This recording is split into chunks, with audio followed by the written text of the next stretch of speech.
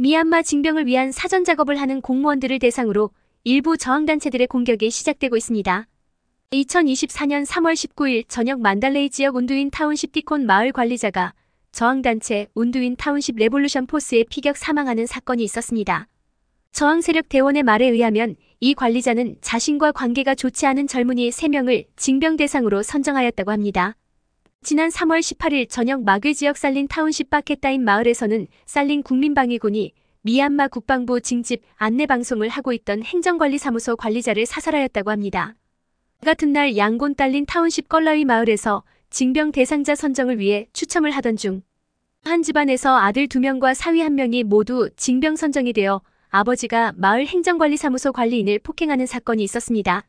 아버지는 관리인이 부정행위를 한 것에 대해 고소를 하였지만 화를 참지 못하고 강목으로 머리를 가격하고 군인들이 오기 전에 도주를 하였다고 합니다. 2024년 2월 12일부터 3월 26일까지 미얀마 전역에서 행정관리사무소 직원 36명이 사망했다고 합니다. 해당 기간 동안 행정관리사무소 직원 11명이 부상을 입고 사상자는 행정관리사무소 직원, 마을 행정관, 100세 대장, 10세 대장 등이 포함되었다고 합니다. 만달레이 지역에서만 마을 이장 4명, 100세 대장, 10세 대장 11명이 사망하였습니다. 바고 지역에서는 마을 이장 6명, 100세 대장 2명, 10세 대장 1명, 사무장 1명이 사망하였습니다. 마괴 지역에서는 마을 이장 6명, 10세 대장 2명이 사망하였습니다. 몬주 짜이토 타운십 마을 이장 1명, 사가잉 지역 쇠보 타운십 행정관리사무소 직원과 사무장이 사망하였습니다. 2024년 3월 20일 아웅산 수치 전 국가 고문 자택 경매가 진행되었으나 아무도 입찰을 하지 않지 않아 결국 유찰되었다고 합니다. 양곤 인야 호수를 끼고 있는 1.9에이커 부지에 있는 2층 저택으로 1억 5천만 달러로 경매가 시작되었으며 경매를 앞두고 일부 언론인들과 군중들이 모여 경매 진행 상황을 지켜보았습니다. 경매 진행자는 3,150억작 고정환율 기준 1억 5천만 달러라는 안내문을 붙여놓고 종을 세 번 치며 경매를 알렸으나 아무도 입찰에 참여하는 모습을 보이지 않아 결국 입찰할 사람이 없다고 알리고 경매를 종료하였다고 합니다. 이 저택은 아웅산 수치의 오빠인 아웅산호와 재산 문제로 수십 년 동안 논쟁이 되고 있었으며 결국 경매로 나오게 되었습니다. 미얀마 국방부 군장병 가족들이 네피도에서 띵잔 축제에 케이팝 공연 초청을 한 것에 대해 강한 반발을 하였습니다. 군장병 가족 중 한 명은 지금 미얀마 상황 속에서 교전 지역 군인들과 공무원을 지원하는 것이 우선순위가 되어야 하는데 띵잔 축제를 위해 큰 예산을 들여 케이팝 공연을 초청한다는 것은 잘못된 결정이라고 지적하였습니다. 일반 국민이 아닌 군장병 가족들 사이에서 강한 반발을 보인 것은 네피도에서 띵잔 축제를 성대하게 치를 것이라는 발표 이후에 나오기 시작하였습니다. 동북부 사령부 일대 지역에 있는 경보병 및 보병 대대들은 퇴각을 하고 있는 상황에서 일체 지원도 받지 못해 이 지역을 철수하는 공무원들은 생계의 위협을 받고 있다고 합니다.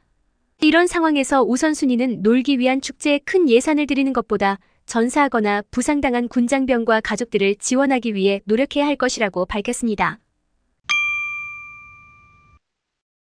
미얀마 정전협정을 한 소수민족 무장단체들도 국가관리위원회가 발표한 의무복무제에 대해 반대 의견을 내고 있습니다. New Mon State Party 중앙집행위원회 위원은 현재 상황을 볼 때 의무복무제를 시행할 시기는 아니라고 지적을 하였습니다. KNU, KNLA 평화위원회 사무총장은 의무복무제는 미얀마 안정에 부정적인 결과를 초래할 것이라고 지적하였습니다. 파오 National Liberation Organization 후원자 쿠노카는 의무복무제에 대해선 모든 국가에서 필요한 법안이라고 생각을 하지만 현재 미얀마 상황에서는 적절하지 않다고 지적하였습니다. 2024년 3월 18일 오전 러시아 언론사는 미얀마를 방문하여 미나웅라인 위원장과 단독 인터뷰를 진행하였습니다. 대부분의 내용은 일반적이었으나 한 가지 주목할 만한 내용으로 위원장은 미얀마 내 교전 심화로 미얀마 전국 선거가 불가능해질 수도 있을 수도 있다는 점을 언급하였다는 것입니다.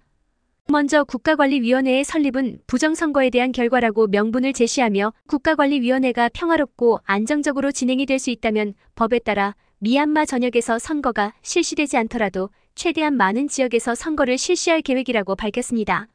2020년 선거에서 발생한 투표 부정 문제에 대응하여 국가 비상사태를 선포하고 코로나19 대응을 위해 우호국으로부터 백신을 제공받아 많은 생명을 구했으며 경제 회복, 내부 평화 및 안정을 위한 노력을 지속하며 자유롭고 공정한 선거를 위한 목표를 추구하고 있다고 하였습니다.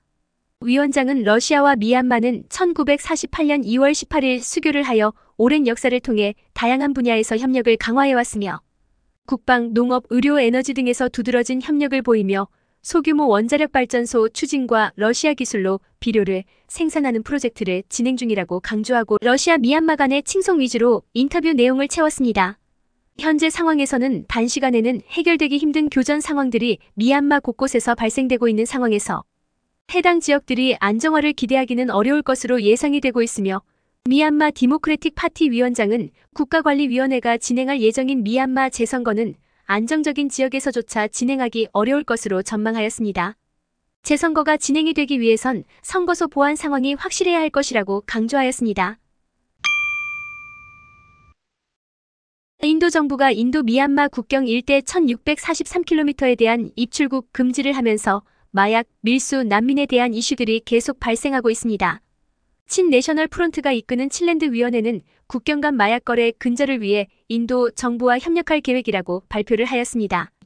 인도 마니푸르주에 본부를 두고 있는 메이테이 시민사회단체 사나마리푸르 청렴조정위원회 대변인은 제55차 유엔 인권이사회 회의에 국경 난민 문제에 대해 제기를 하였습니다. 국경을 넘어오는 난민들이 급증하면서 인도 동북부 지역에서 거주지를 형성하고 일대 산림보호구역이 훼손되고 불법 활동이 증가하여 치안이 불안정해지고 있다고 지적하였습니다. 대변인의 주장에 따르면 마니푸르 양귀 비제가 증가로 마약, 무기 적발 사례가 급증하고 마니푸르에서 압수된 마약은 약 180억 달러, 아쌈 지역은 168억 8천만 달러 규모였으며 미조람 지역에서 마약 16억 달러 규모였다고 합니다. 또한 모든 마약은 미얀마에서 온 것들이라고 하였으나 이 수치에 대한 출처는 명확히 밝히지 않았습니다. 샨주는 이미 전 세계 아편 주요 생산지로 자리매김을 한 것으로 알려져 있으며 다른 지역은 소규모로 재배를 하고 있습니다. Data for Myanmar는 2024년 3월 22일 현재 미얀마 전역 172개 township에서 국가관리위원회가 징병 대상자 데이터를 수집하고 징집 추첨을 실시하여 징집 대상자를 등록하고 있다고 밝혔습니다. 징집 활동이 가장 많았던 지역을 보면 에야와디, 양곤, 바고, 네피도인 것으로 보고 있습니다. 현재 미얀마 징집에 대한 공식적인 세부 시행령이 나오지 않은 상황에서 지역주별로 상황에 따라 다르게 징집 대상자를 선정하거나 징병 대상자 목록을 작성하고 있어 혼란과 사건들이 계속 발생하고 있습니다. 2024년 3월 18일 러시아 언론사와의 인터뷰에서 미나웅 훌라잉 위원장은 미얀마 국가관리위원회는 20만 톤급 선박까지 처리할 수 있는 다웨이 심해양 사업에 대해 러시아 정부와 협의 중이라고 언급하였습니다. 위원장은 미얀마 남부 지역에는 섬과 해변이 많고 세계 최고 품질의 진주 양식을 하는 기업들도 있어 많은 가능성을 가지고 있으며 남부 지역 활성화를 위해 20만 톤급 선박까지 처리가 될 수 있는 다웨이 심해양 건설을 위해 노력하고 있으며 이 과정에서 러시아 정부와도 협의를 하고 있다고 설명하였습니다. 이에 앞서 러시아 국영원자력공사 로스아톰의 지원으로 소형원자력 발전소와 같은 에너지 사업뿐만 아니라 러시아 기술 지원으로 화학비료 공장 건설 사업, 농업, 의료, 광업 분야에 대한 협력을 하고 있다고 밝혔습니다. 2024년 3월 22일 국민통합정부는 2021년 발표한 국민방위군 군사행동 강령 개정판을 발표하였습니다. 이번 개정안은 국민통합정부와 연계된 국민통합정부 규정을 국제인도법 및 국제전쟁법에 맞추었습니다. 주목할 만한 개정 내용을 보면 계속 논란이 되고 있는 민간인에 대한 정의가 되었다는 것입니다. 국민방위군과 저항 세력들은 국가관리위원회 공무원들을 사살하는 것이 일상적인 전술로 착각하고 당연시 해오고 있었습니다. 하지만 이번 개정안에서 정의된 민간인은 적이 아닌 교전에 직접 참여하지 않는 사람으로 정의를 하였습니다. 이에 국가관리위원회 공무원과 정보원들은 민간인으로 해석이 되어 사살을 해서는 안 됩니다. 저항군은 민간인 사상자를 최소화하기 위해 가능한 모든 예방 조치를 취하도록 촉구하며 군사 전략을 위해 민간인 사상자와 민간 재산을 파괴해서는 안 된다고 하였습니다. 저항군은 살인, 폭행, 고문 등의 행동을 금지하며 민간인을 노동자, 짐꾼, 인간 방패로 사용해서는 안 되고 부상당한 민간인이 있을 경우 치료를 제공하고 인도주의적 지원단체가 지원을 할 수 있도록 해야 한다고 밝혔습니다. 이전 군사 강령에는 저항군은 군사 독재 기둥을 무너뜨려야 한다는 뜬구름 잡는 표현을 사용하다가 개정 군사 강령에는 성격, 위치, 목적, 용도에 따라 적의 군사 활동에 타격을 줄 수 있는 군사 목표만 공격하도록 제시하였습니다. 저항군은 전쟁 포로에 대한 직결 처형을 금지하였다. 구금 중 사망한 포로의 경우 적합한 시신 처리와 기록을 남기고 유가족들에게 구금 사유를 알려야 하며 사법 절차가 진행 중일 경우 법적 상황을 설명해줘야 한다고 되어 있습니다.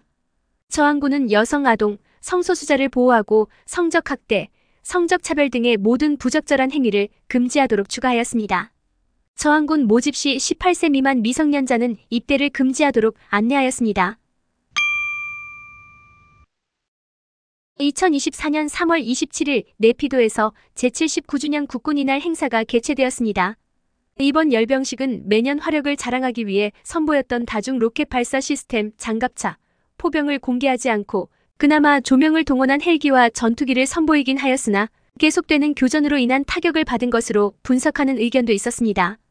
또한 이번 행사는 밤에 개최가 되었는데 국가관리위원회 공보부 쪼민툰 대변인은 엘니뇨 현상으로 인한 폭염으로 저녁에 진행을 하게 되었다고 설명을 하며 보안 위협 때문에 연기가 되었다는 소문을 일축하였습니다. 퓰리처상을 수상한 사진기자 소째아는 이번 열병식에서 큰 변화 중 하나는 여군이 증가한 것이라고 밝혔습니다. 10년 가까이 미얀마 열병식을 취재해오면서 발견한 이 변화가 남군이 교전 지역에 배치됨에 따른 것인지 최근 세계 여성이날 행사에서 미나웅울라잉 위원장이 여성에 대한 발전 가속화에 대한 의지를 보여주기 위한 것인지 알 수는 없습니다. 미나웅울라잉 위원장은 무장단체들이 미얀마 연방민주주의를 기반으로 한 연방국가 건설을 망치고 있다고 밝히며 일부 강대국들이 이 단체들을 지원하며 내정 간섭을 하려고 하고 있다고 비난하였습니다. 미얀마 봉제협회 MGMA는 띵잔 연휴 기간 동안 고향을 방문하는 노동자들을 대상으로 여행 추천서를 발급하도록 안내하였습니다. 추천서에는 이름, 회사 등록번호, 주민등록번호, 회사 연락처, 현 거주 주소, 본적 등이 기재되어야 하며 추천서 발급을 한 매니저의 직위, 서명, 직인이 포함되어야 합니다. 최근 미얀마 국내 이동 시 미얀마 국민에 대한 신분 확인 강화가 되면서 지역 간 이동에 제한이 발생하고 있습니다.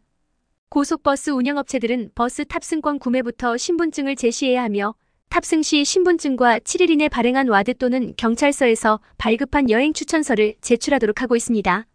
이에 띵잔 연휴 기간 동안 노동자들이 고향 방문을 하는데 불편함을 해소해주고 의무복무제 시행 이후 지역 간 이동 시 징집 대상이 되는 것에 대한 우려를 막기 위한 조치로 여행 추천서를 발행하도록 제안하였습니다.